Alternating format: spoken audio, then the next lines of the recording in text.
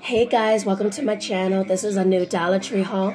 So let's get started. Um, the very first thing I picked up at Dollar Tree was this big pan right here. And that's to make a turkey. Um, I'd rather buy it now instead of buying it later. And then this pan here is for um, some bedney. I'm going to make a, a, pork shoulder also. Um, I might go back later because I need some more of these of this size. Because I'm going to make some homemade macaroni and cheese again um, in the oven. So I might get more of those. And then also at Dollar Tree, I found this really beautiful plaque. It's a big wood cross. Well, it's not really wood, but you know what I mean. It has like the little hook on there. and it says, um, it's about God. It's got the beautiful cross and, um, you know, the little, you know, sayings on there. Also at Dollar Tree, I found this really cute decoration. Sorry, guys, my voice, I'm still sick. So anyway, um, this is a beautiful uh, green tree.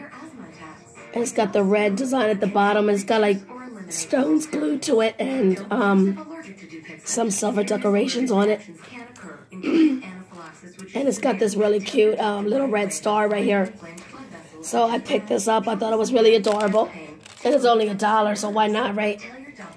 And then these are name brand. these are like five or six dollars at Target. And I got two of them of the same uh, scent. And this is the Old Spice body spray for men. So I got my son one and my husband one. Also at Dollar Tree, I picked up two um, more hand soaps. This is the Nature's Box. And I got the yellow one, and I decided to pick up a blue one.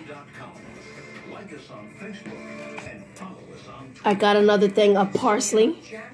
It's like part, you know, seasoning for your when you're cooking. Some Diet Pepsi. Um, these were all new at Dollar Tree. I picked up this big box of a clay mask. So it has a couple packs in here. A real big thing of the cucumber mask. And it's got a few things in there. And then I got these two. One's a big gold mask, and the other one is um, a black sparkly mask. That is really, really pretty. So I found this really cute gingerbread man cup. And I love gingerbread. It's so adorable.